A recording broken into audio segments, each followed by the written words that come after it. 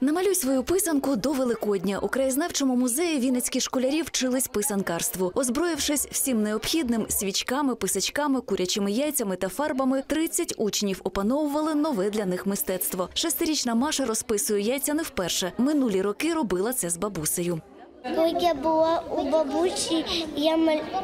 я намалювала на яєчі квіточку. А чому саме квіточку? Вона мені сподобалась.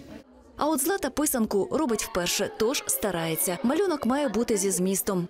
Я намалювала джерело життя і для нього дві зірочки.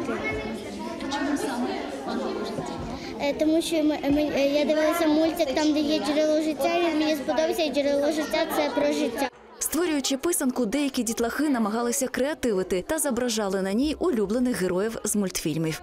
Роблю яєчко з одної сторони чоловіка паука, а з другої е, смайлик.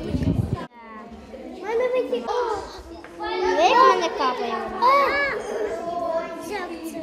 Створення писанок чарівне дійство, що заворожує, розповідає одна з мам та долучається до магії. Зізнається, в дитинстві писанки не робила, тож надолужує.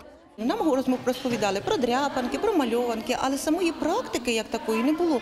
І було дуже сумно, тому що коли ти бачиш картинку і хочеш її відтворити, а не було е, практики, то це було десь якийсь залишався такий відбиток сумний, знаєте, від цього у маленької дитини. І тому я старалася вже, коли стала старша, сама опанувати цю техніку і навчитися, як це відбувається. З давніх давен писанка вважається потужним оберегом. Її дарували, аби побажати здоров'я, гарного врожаю, довголіття, освідчитись у коханні. Кожен символ несе певний зміст. Як, от, наприклад, намальовані дубові е, листочки е, із жолудями, це побажання міцного здоров'я. Чи, наприклад, побажання достатку, коли там, наприклад, малювали е, писанку 40 клинців. Обов'язково її дарували там господарям із побажанням, щоб був багатий врожай, щоб він був заможним, щоб в нього в родині був достаток. В народі кажуть, доки люди писатимуть писанки, доти у світі існуватиме любов. Саме тому українці зберігають багаторічну традицію і передають знання та вміння з покоління в покоління.